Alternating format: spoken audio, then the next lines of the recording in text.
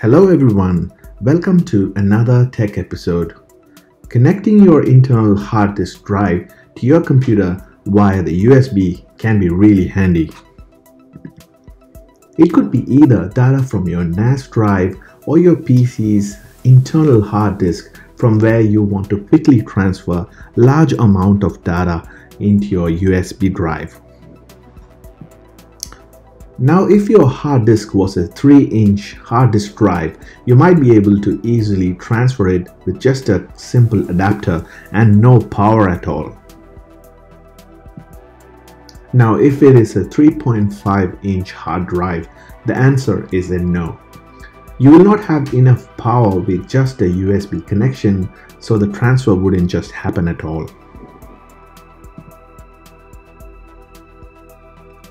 There are a lot of DIY tricks to make this happen that you will find online, but there's no guarantee all of those would work. I'm just going for the easiest solution that is out of the box and can be set up in just a few minutes. All that you would need is an adapter that lets you add power to this equation and that's exactly what we have here. Got this adapter from Amazon for around 12 or 14 Australian dollars and all it does is let lets you connect from your uh, 3.5 inch external hard drive straight into a USB port and lets you make the transfer.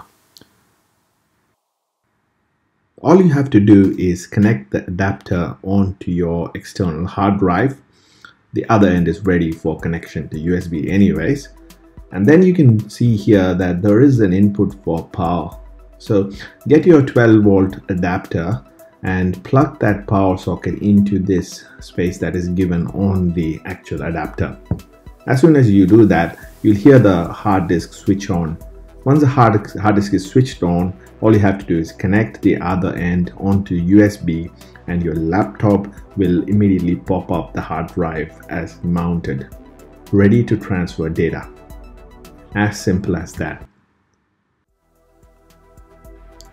Hope you enjoyed this video. I'll leave a link in the description to the adapter.